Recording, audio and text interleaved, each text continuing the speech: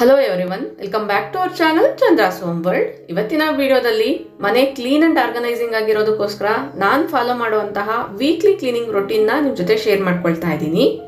ವಾರಕ್ಕೊಮ್ಮೆ ನನಗೆ ತುಂಬ ಇಷ್ಟವಾದಂತಹ ಕೆಲಸಗಳು ಯಾವುದು, ಅದನ್ನ ಮಾಡ್ಕೊಳ್ಳೋದ್ರಿಂದ ಯಾವ ರೀತಿ ಮನೆ ಸದಾ ನೀಟ್ ಅಂಡ್ ಆರ್ಗನೈಸಿಂಗ್ ಆಗಿರುತ್ತೆ ಅನ್ನೋದನ್ನ ಕೂಡ ಡೀಟೇಲ್ ಆಗಿ ಶೇರ್ ಮಾಡ್ತಾ ಹೋಗ್ತೀನಿ.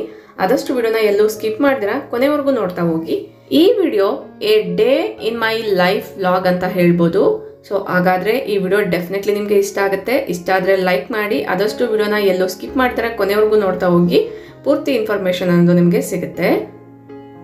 ಈ ಒಂದು ವಿಡಿಯೋ ನಾನು ಮಂಡೇ ದಿನ ಶೂಟ್ ಮಾಡ್ಕೊಂಡಿರುವಂತಹ ವಿಡಿಯೋ ಸೊ ಸಂಡೇ ಮಾಡುವಂಥ ಕೆಲಸಗಳು ಕೂಡ ಕೆಲವೊಂದು ಸರಿ ಮಂಡೇಗೆ ಶಿಫ್ಟ್ ಆಗ್ತಾ ಇರುತ್ತೆ. Sunday is a lazy day ಅಥವಾ ನಾವು ಹೊರಗಡೆ ಎಲ್ಲಾದ್ರೂ ಹೋದಾಗ ಆ ಕೆಲಸಗಳು ಮಂಡೇ ಅನ್ನೋದು ಮಾಡ್ಕೊಳ್ತಾ ಇರ್ತೀವಿ. ವೀಕ್ಲಿ ರುಟೀನ್ ಅಲ್ಲಿ ನನಗೆ ತುಂಬಾ ಇಷ್ಟವಾಗಿರುವಂತ ಕೆಲಸ ಗಾರ್ಡನ್ಗೆ ಸಂಬಂಧಪಟ್ಟಂಗೆ ಮನೆಯ ಎಂಟ್ರಿ ವೇಯಲ್ಲೇ ತುಂಬಾ ರೀತಿಯಾಗಿರುವಂತಹ ಇಂಡೋರ್ ಪ್ಲಾಂಟ್ಸ್ನ ಇಟ್ಕೊಂಡಿರೋದ್ರಿಂದ ಈ ಒಂದು ಏರಿಯಾ ಕ್ಲೀನಿಂಗ್ ಏನಿದೆ ತುಂಬಾನೇ ಎಂಜಾಯ್ ಮಾಡ್ತೀನಿ.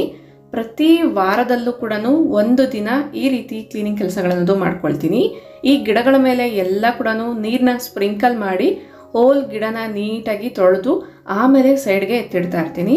ಸೊ ಅದೇ ರೀತಿ ಟೆರೆಸಲ್ಲಿರುವಂತಹ ಗಿಡಗಳಿಗೂ ಕೂಡ ಅಷ್ಟೇ ಟೆರೆಸ್ ಎಲ್ಲ ಕೂಡ ನೀಟಾಗಿ ತೊಳೆದ್ಬಿಟ್ಟು ಟೆರೆಸಲ್ಲಿರುವಂಥ ಗಿಡಗಳಿಗೂ ಕೂಡ ನೀರನ್ನ ಹಾಕ್ತಾ ಇರ್ತೀನಿ. ಮನೆಯ ಎಂಟ್ರಿ ವೇ ಈ ರೀತಿಯಾಗಿದೆ. ಇಲ್ಲಿ ತುಂಬಾ ರೀತಿಯಾಗಿರುವಂಥ ಗಿಡಗಳನ್ನ ಇಟ್ಕೊಂಡಿದ್ದೀನಿ. ಕೆಲವೊಂದು ಇಂಡೋರ್ ಪ್ಲಾಂಟ್ಸ್ ಕೂಡ ಇದೆ, ಕೆಲವೊಂದು ಔಟ್ಡೋರ್ ಪ್ಲಾಂಟ್ಸ್ ಕೂಡ ಇದೆ.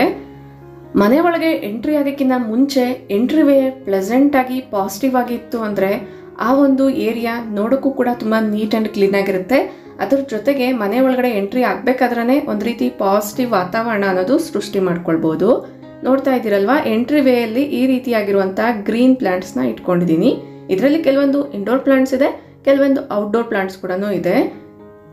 ಯಾವ್ಯಾವ ಗಿಡಗಳು ಕಲರ್ಫುಲ್ ಆಗಿರುತ್ತೋ ಆ ಗಿಡಗಳನ್ನೆಲ್ಲ ಎಂಟ್ರಿ ವೇಯಲ್ಲಿ ಬೆಳೆಸ್ಕೊಳ್ಳೋಕ್ಕೆ ಟ್ರೈ ಮಾಡಿ.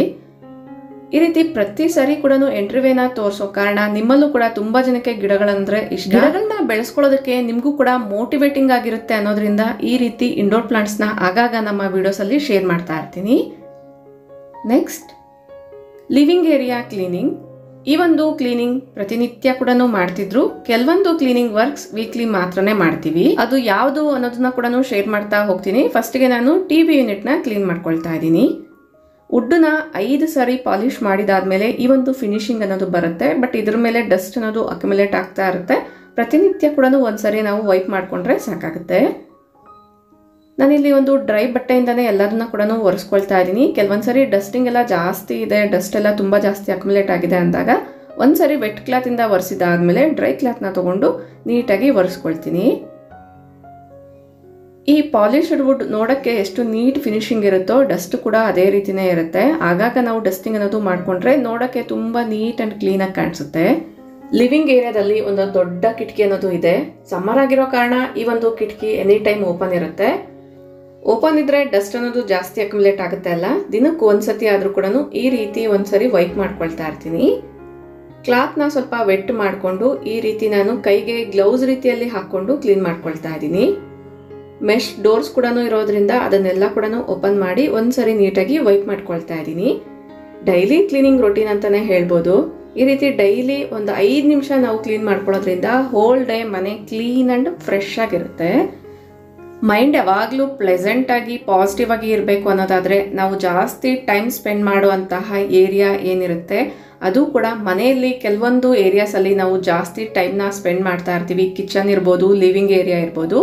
ಈ ಏರಿಯಾಗಳು ಎಷ್ಟು ನೀಟಾಗಿದ್ರೆ ನಮ್ಮ ಮೈಂಡು ಕೂಡ ಅಷ್ಟೊಂದು ಕಾಮಾಗಿ ಪ್ಲೆಸೆಂಟ್ ಆಗಿ ಪಾಸಿಟಿವ್ ಆಗಿ ಇರುತ್ತೆ. ಈ ಕಿಟಕಿಯ ಹೊರಭಾಗಕ್ಕೆ ಬರೋದಾದ್ರೆ ಹೋಮ್ ಎಂಟ್ರೆನ್ಸ್ ಇರುತ್ತೆ. ಇಲ್ಲಿ ನಾನು ಪ್ರೊಪಗೇಟ್ ಮಾಡಿರುವಂತಹ ಗಿಡಗಳು, ಈಗ ತಾನೇ ನಾನು ನೆಟ್ಟಿರುವಂತ ಕೆಲವೊಂದು ಗಿಡಗಳೆಲ್ಲ ಏನಿರುತ್ತೆ, ಅದನ್ನ ಈ ರೀತಿ ಸ್ವಲ್ಪ ಶೇಡೆಡ್ ಅಲ್ಲಿ ಇಡ್ತಾ ಇರ್ತೀನಿ. ಈ ಗಿಡಗಳು ಲಿವಿಂಗ್ ಏರಿಯಾ ಹತ್ರನೇ ಇಟ್ಕೊಂಡಿರೋ ಕಾರಣ ನಾನು ಕಿಚನಲ್ಲಿ ಅಕ್ಕಿ ತೊಳೆದಾಗ ಅಥವಾ ಧಾನ್ಯಗಳೆಲ್ಲ ಏನಿರುತ್ತೆ, ಬೇಳೆಗಳೆಲ್ಲನೂ ತೊಳೆದಾಗ ಯೂಸ್ ಮಾಡಿರುವಂಥ ವಾಟರ್ ಇರುತ್ತೆ ಅಲ್ವಾ? ಆ ಒಂದು ನೀರನ್ನ ಈ ಗಿಡಗಳಿಗೆ ಡೈರೆಕ್ಟಾಗಿ ಹಾಕ್ಬೋದು ಅನ್ನೋದ್ರಿಂದ ಆದಷ್ಟು ಕಿಚನ್ಗೆ, ಲಿವಿಂಗ್ ಏರಿಯಾಗೆ ಹತ್ತಿರದಲ್ಲೇ ಗಿಡಗಳನ್ನ ಇಟ್ಕೊಂಡಿದ್ದೀನಿ. ಈಗ ವೀಕ್ಲಿ ಕ್ಲೀನಿಂಗ್ ರೊಟೀನ್ಗೆ ಬರೋದಾದರೆ ಪ್ರತಿನಿತ್ಯ ಕೂಡ ಟಿ ವಿ ಯೂನಿಟ್ ಇರ್ಬೋದು, ಈ ರೀತಿ ಕಿಟಕಿಗಳನ್ನೆಲ್ಲ ಕ್ಲೀನ್ ಮಾಡಿದ್ರು ಕೂಡ ವಾರಕ್ಕೊಂದ್ಸರಿ ನಾನು ದಿವಾನದ ಮೇಲೆ ಇರುವಂಥ ಬೆಡ್ಶೀಟ್ಸ್ನ ತೆಗಿತಾ ಇರ್ತೀನಿ. ಲಿವಿಂಗ್ ಏರಿಯಾದಲ್ಲಿರುವಂಥ ಸೋಫಾ, ದಿವಾನ ಇರ್ಬೋದು.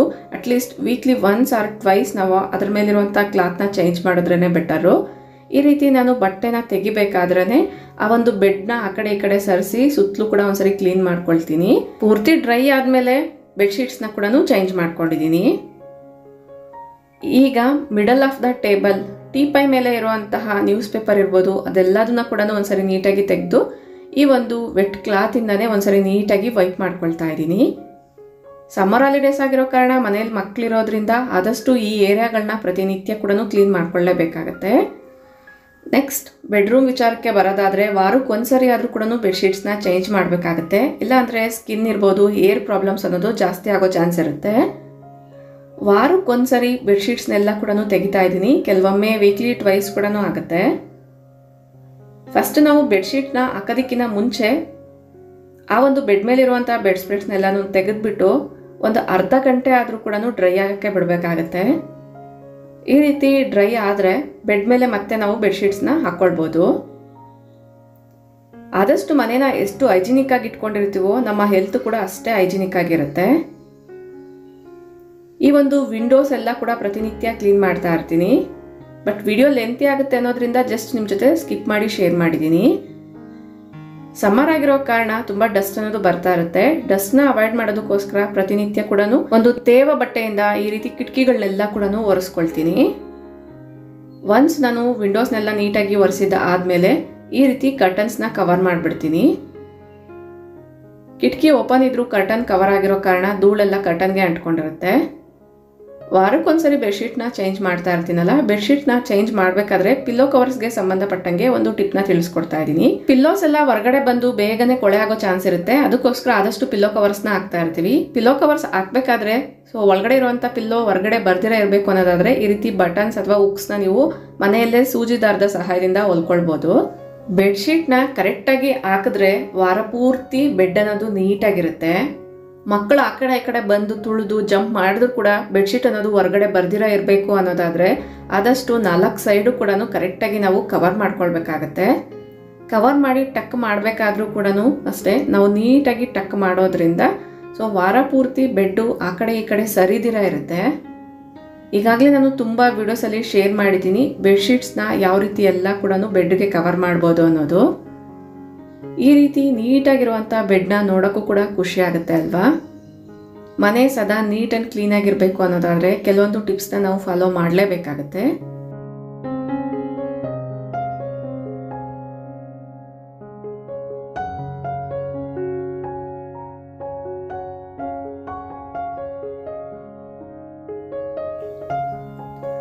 ನೆಕ್ಸ್ಟು ಕಿಡ್ಸ್ ರೂಮಲ್ಲಿ ಈ ಒಂದು ರೂಮಲ್ಲಿರುವಂಥ ಬೆಡ್ಶೀಟ್ನ ಕೂಡ ತೆಗೆದು ಹಾಫ್ ಆನ್ ಅವರ್ ಆಗಿದೆ.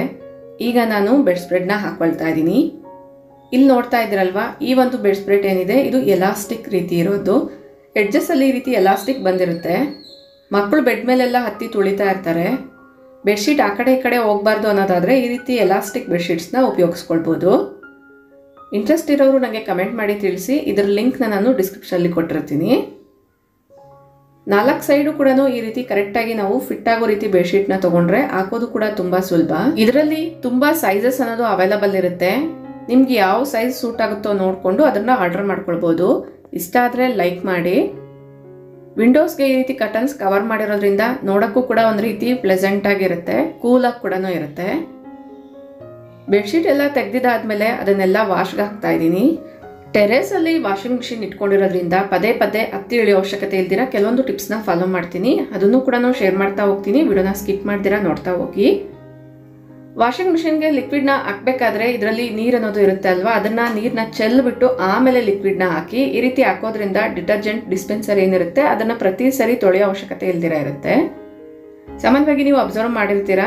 ನಾವೇನಾದ್ರು ಲಿಕ್ವಿಡ್ ಹಾಕ್ಬೇಕಾದ್ರೆ ಅಲ್ಲೆಲ್ಲ ಕೂಡ ವೈಟ್ ಪ್ಯಾಚಸ್ ಅನ್ನೋದು ಆಗಿರುತ್ತೆ. ಅದನ್ನು ಅವಾಯ್ಡ್ ಮಾಡಬೇಕು ಅಂದರೆ ಈ ರೀತಿ ಒಂದು ಸ್ಮಾಲ್ ಟಿಪ್ನ ಉಪಯೋಗಿಸ್ಕೊಳ್ಳಿ. ಟೆರೇಸಲ್ಲಿ ಈಗ ನಾನು ಬಟ್ಟೆಗಳನ್ನೆಲ್ಲ ಏನು ಒಣಗಾಕಿರ್ತೀನಿ ಹಿಂದಿನ ದಿನ ಅದನ್ನೆಲ್ಲ ಕೂಡ ತೆಗಿತಾ ಇದ್ದೀನಿ. ಈ ರೀತಿ ಟಿಪ್ಸ್ನ ಫಾಲೋ ಮಾಡೋದ್ರಿಂದ ಪ್ರತಿ ಸರಿ ಕೂಡ ಮೇಲೆ ಹತ್ತಿ ಇಳಿಯೋ ಅವಶ್ಯಕತೆ ಇರಲ್ಲ. ಒಂದೇ ಸರಿ ಎರಡು ಕೆಲಸಗಳನ್ನ ನಾವು ಮಾಡ್ಕೊಂಡು ಹೋಗ್ಬೋದು. ಒಂದು ಬಾಸ್ಕೆಟ್ನ ಇಟ್ಕೊಂಡು ಒಣಗಿರುವಂತ ಬಟ್ಟೆಗಳನ್ನೆಲ್ಲ ಕೂಡ ಅದರಲ್ಲೇ ಹಾಕೊಳ್ತಾ ಇದ್ದೀನಿ. ಈ ರೀತಿ ಟೆರೇಸ್ಗೆ ಬಂದಾಗ ಗಿಡಗಳಿಗೆ ನೀರು ಹಾಕುವಂಥದ್ದಿರ್ಬೋದು ಅಥವಾ ಒಣಗಿರುವಂಥ ಬಟ್ಟೆಗಳನ್ನ ತೆಗೆಯುವಂಥದ್ದಿರ್ಬೋದು ಇಲ್ಲ ಒಂದು ಲೋಡ್ ವಾಷಿಂಗ್ ಮಿಷಿನ್ಗೆ ಬಟ್ಟೆ ಹಾಕುವಂಥದ್ದಿರ್ಬೋದು ಇಲ್ಲ ಹಾಕಿರುವಂಥ ಬಟ್ಟೆಗಳನ್ನ ಒಣಗಾಕುವಂಥದ್ದಿರ್ಬೋದು ಈ ರೀತಿ ಮಲ್ಟಿ ಟಾಸ್ಕಿಂಗ್ ಅನ್ನೋದು ಮಾಡ್ತಾ ಇರ್ತೀವಿ. ಒಂದೇ ಸರಿ ಎರಡು ಮೂರು ಕೆಲಸಗಳನ್ನ ಮಾಡ್ಕೊಳ್ಳೋದ್ರಿಂದ ಪದೇ ಪದೇ ಮೇಲೆ ಕೆಳಗಡೆ ಹತ್ತಿ ಇಳಿಯೋ ಅವಶ್ಯಕತೆ ಇರಲ್ಲ. ಈಗ ನಾನು ಮ್ಯಾಟ್ಸ್ನ ಕೂಡ ಒಣಗಾಕೊಳ್ತಾ ಇದ್ದೀನಿ. ಈಗ ಒಣಗಿರುವಂಥ ಬೆಡ್ಶೀಟ್ನ ಕೂಡ ತಗೊಂಡೋಗ್ತಾ ಇದ್ದೀನಿ.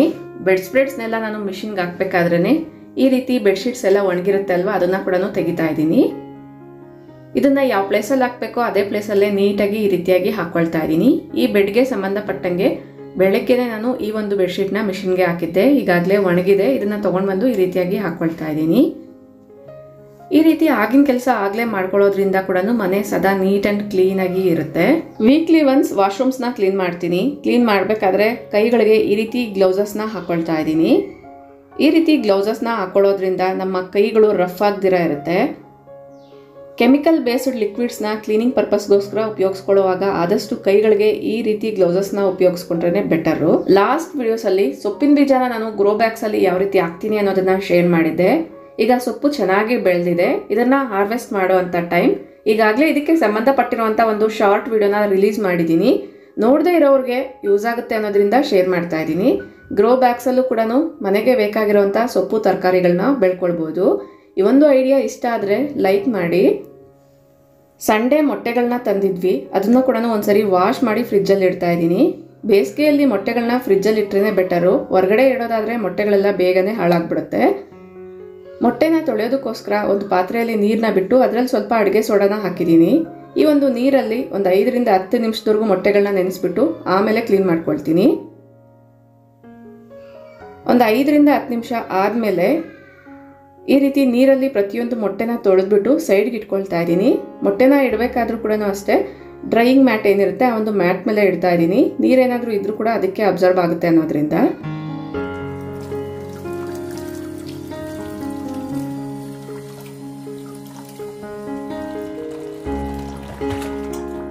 ಈಗ ಈ ಒಂದು ಮೊಟ್ಟೆಗಳನ್ನೆಲ್ಲ ಕೂಡ ಒಂದು ಬಾಕ್ಸಲ್ಲಿ ಇಟ್ಕೊಳ್ತಾ ಇದ್ದೀನಿ. ಫ್ರಿಜ್ಜಲ್ಲಿ ಕೊಟ್ಟಿರುವಂಥ ಟ್ರೇಯಲ್ಲಾದರೆ ಕೇವಲ ಒಂದು ಎಂಟರಿಂದ ಹತ್ತು ಮೊಟ್ಟೆಗಳು ಮಾತ್ರನೇ ಇಡಿಸುತ್ತೆ ಅದಕ್ಕೋಸ್ಕರ ಜಾಸ್ತಿ ಮೊಟ್ಟೆಗಳಿದ್ದಾಗ ಈ ರೀತಿ ಒಂದು ಬಾಕ್ಸಲ್ಲಿ ನಾನು ಸ್ಟೋರ್ ಮಾಡ್ಕೊಳ್ತೀನಿ. ಮೊಟ್ಟೆನ ನಾವು ಫ್ರಿಜ್ಜಲ್ಲಿಂದ ಡೈರೆಕ್ಟಾಗಿ ಅಡುಗೆಗೆ ಉಪಯೋಗಿಸ್ಕೊಳ್ತಾ ಇರ್ತೀವಿ. ಮತ್ತು ಫ್ರಿಜ್ಜಲ್ಲಿ ಕೂಡ ಫುಡ್ ಇಂಗ್ರೀಡಿಯೆಂಟ್ಸ್ನ ಇಡೋದ್ರಿಂದ ಆದಷ್ಟು ಮೊಟ್ಟೆಗಳನ್ನ ಈ ರೀತಿ ನೀಟಾಗಿ ತೊಳೆದೇ ಫ್ರಿಜ್ಜಲ್ಲಿ ಸ್ಟೋರ್ ಮಾಡ್ಕೊಳ್ಬೇಕಾಗುತ್ತೆ. ಇಲ್ಲ ಅನ್ನೋದಾದರೆ ಮೊಟ್ಟೆಗಳಲ್ಲಿರುವಂಥ ಬ್ಯಾಕ್ಟೀರಿಯಾ ಫ್ರಿಜ್ಜಲ್ಲಿರುವಂಥ ಬೇರೆ ಫುಡ್ಗೂ ಕೂಡ ಅಟ್ಯಾಚ್ ಆಗೋ ಚಾನ್ಸ್ ಇರುತ್ತೆ. ವಾರಕ್ಕೊಮ್ಮೆ ನಾನು ಫಾಲೋ ಮಾಡುವಂಥ ಕ್ಲೀನಿಂಗ್ ರೊಟೀನ್ಸಲ್ಲಿ ಪೂಜಾ ರೂಮ್ ಕ್ಲೀನಿಂಗ್ ಕೂಡ ಒಂದು. ಈಗಾಗಲೇ ನಾನು ತುಂಬ ವಿಡಿಯೋಸಲ್ಲಿ ಪೂಜಾ ರೂಮ್ ಗೋಡೆಗಳನ್ನೆಲ್ಲ ಯಾವ ರೀತಿ ಕ್ಲೀನ್ ಮಾಡ್ಕೊಳ್ಬೋದು ಅನ್ನೋದನ್ನು ತಿಳಿಸ್ಕೊಟ್ಟಿದ್ದೀನಿ. ಪೂಜಾ ರೂಮ್ ಗೋಡೆಗಳೆಲ್ಲ ನೀಟಾಗಿ ಕ್ಲೀನ್ ಮಾಡಿದ್ದಾದ್ಮೇಲೆ ಪೂಜೆಗೆ ಸಂಬಂಧಪಟ್ಟಿರುವಂಥ ಎಲ್ಲ ವಸ್ತುಗಳನ್ನ ಕೂಡ ನೀಟಾಗಿ ಕ್ಲೀನ್ ಮಾಡಿ ಇಟ್ಕೊಂಡಿದ್ದೀನಿ. ಪೂಜಾ ರೂಮ್ಗೆ ಸಂಬಂಧಪಟ್ಟಿರುವಂತಹ ತುಂಬಾ ವಿಡಿಯೋಸ್ನ ನಮ್ಮ ಚಾನಲ್ನಲ್ಲಿ ಈಗಾಗಲೇ ಅಪ್ಲೋಡ್ ಮಾಡಿದ್ದೀನಿ. ನೀವೇನಾದರೂ ನಮ್ಮ ಚಾನಲ್ನ ಬಿಗಿನರ್ಸ್ ಆಗಿದ್ರೆ ಒಂದ್ಸರಿ ಪೂಜಾ ರಿಲೇಟೆಡ್ ವಿಡಿಯೋಸ್ ಅನ್ನು ಪ್ಲೇಲಿಸ್ಟಲ್ಲಿ ಹೋಗಿ ಚೆಕ್ ಮಾಡಿ. ಹೊಸ್ಲಿಗೂ ಕೂಡ ಈಗ ಅರ್ಶಿನ ಕುಂಕುಮ ಅನ್ನೋದು ಹಚ್ಕೊಳ್ತಾ ಇದ್ದೀನಿ. ವಾರಕ್ಕೊಮ್ಮೆ ಮಾತ್ರನೇ ಪೂಜಾ ರೂಮ್ನ ನಾನು ಡಿಪ್ ಕ್ಲೀನ್ ಮಾಡೋದ್ರಿಂದ ಅವತ್ತಿನ ದಿನಾನೇ ಈ ರೀತಿ ಪೂಜಾ ರೂಮ್ ಬಾಗ್ಲೆಲ್ಲ ಏನಿರುತ್ತೆ ಅದನ್ನೆಲ್ಲ ನೀಟಾಗಿ ವೈಪ್ ಮಾಡಿಕೊಂಡು ಅರ್ಶನ ಕುಂಕುಮ ಗಂಧನ ಹಚ್ಚಿ ಇಟ್ಕೊಳ್ತೀನಿ. ಪ್ರತಿನಿತ್ಯ ಮೇನ್ ಡೋರ್ಗೆ ಮಾತ್ರನೇ ಅರ್ಶನ ಕುಂಕುಮ ಹಚ್ಚೋದ್ರಿಂದ ವಾರಕ್ಕೊಂದ್ಸರಿ ಮಾತ್ರನೇ ಪೂಜಾ ರೂಮ್ ಡೋರ್ಗೆಲ್ಲ ಕೂಡ ಈ ರೀತಿ ಅಲಂಕಾರ ಅನ್ನೋದು ಮಾಡ್ಕೊಳ್ತಾ ಇದ್ದೀನಿ. ನೀಟಾಗಿ ಅಲಂಕಾರ ಎಲ್ಲ ಮಾಡಿದಾದ್ಮೇಲೆ ಈ ರೀತಿಯಾಗಿ ಕಾಣಿಸ್ತಾ ಇದೆ. ಮೇನ್ ಡೋರ್ ಏನಿರುತ್ತೆ, ಈ ಒಂದು ಡೋರ್ ಮೇಲೆ ಕೂಡ ಸ್ವಸ್ತಿಕ್ ಅನ್ನೋದು ಬರೆದಿರ್ತೀವಿ. ಇದನ್ನ ಕೂಡ ನಾನು ಪೂಜಾ ರೂಮ್ ಡೀಪ್ ಕ್ಲೀನ್ ಮಾಡ್ಕೊಂಡಿರುವಂಥ ದಿನಾನೇ ಇದ್ರ ಮೇಲೆ ಇರುವಂಥ ಮಾರ್ಕ್ಸ್ ಎಲ್ಲ ಕೂಡ ನೀಟಾಗಿ ಒರೆಸ್ಬಿಟ್ಟು ಆಮೇಲೆ ಇನ್ನೊಂದ್ಸರಿ ಗಂಧದಿಂದ ಸ್ವಸ್ತಿಕ್ ಅನ್ನೋದು ಬರ್ಕೊಳ್ತೀನಿ.